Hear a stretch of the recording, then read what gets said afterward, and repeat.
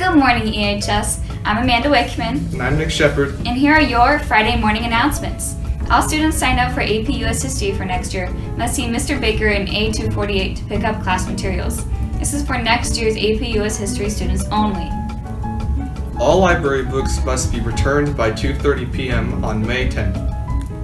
Anyone interested in joining EPIC for the 2019-2020 school year needs to pick up an application in C110. All new and old members need to fill out an application for next year.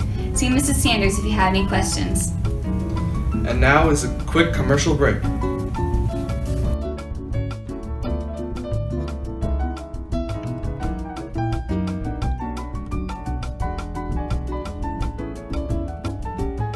And we're back, EHS.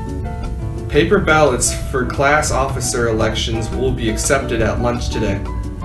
Students interested in joining next year's yearbook staff, applications are on the spinny thing in the main office. If you have any questions, please see Mrs. Thrunnen, A113, or Miss Mudgeon, A218. Do you like democracy, equality, and environmentalism? Do you want to change our society? Come to the Young Democratic Socialist Club on Thursday in Mrs. Mudge's room. That's all, EHS. Make today the best day ever. Ever.